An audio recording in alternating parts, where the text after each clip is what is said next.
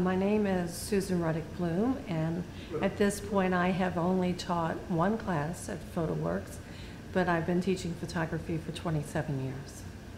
I like seeing the excitement as people grasp new concepts and realize potential within the medium and within themselves, sharing that enthusiasm and uh, and aiding them in sort of moving forward with whatever their photographic journey is.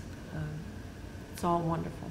I develop techniques that allow um, you to make marks um, that can can resemble oil, can resemble pastel, charcoal, pencil drawings.